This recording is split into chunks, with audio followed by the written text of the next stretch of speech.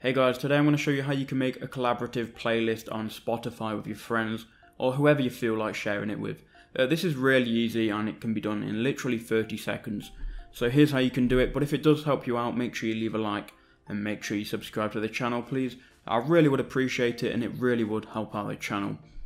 So what you want to do is you want to come to Spotify obviously and first you want to make the new playlist that people can add songs to. So click on new playlist.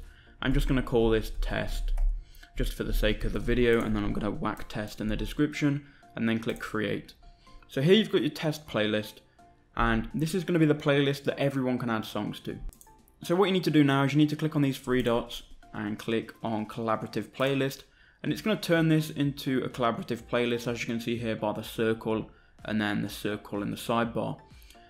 Now what you need to do is you need to invite people to this playlist. Now there are a couple of ways of doing this and Spotify kind of makes it hard for you to only invite your friends. Now there are a couple of ways to do this. The first way is to go to share and then you can copy the playlist link.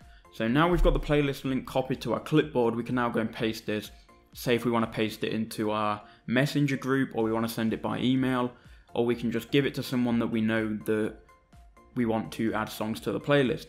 Another way you can do it is by clicking on the three dots by going to share and you can publish it to your Facebook, Twitter, or whatever, any of these really. You can publish it to any one of these social medias. And that means anybody with the link can then add songs to the playlist. Now, the downside about sharing Spotify playlists is you can't pick and choose who adds songs, so be careful with who you actually share the link with. Because if you go and post it to Facebook or if you post it in a group chat, anybody that then has that link can then add songs, which can be a bit of a bummer, but I mean, Spotify aren't really helping us out here.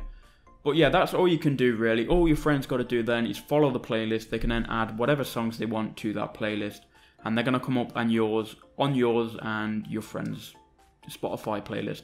So if that helped you out, make sure you leave a like, make sure you subscribe, and I'll see you all in the next video.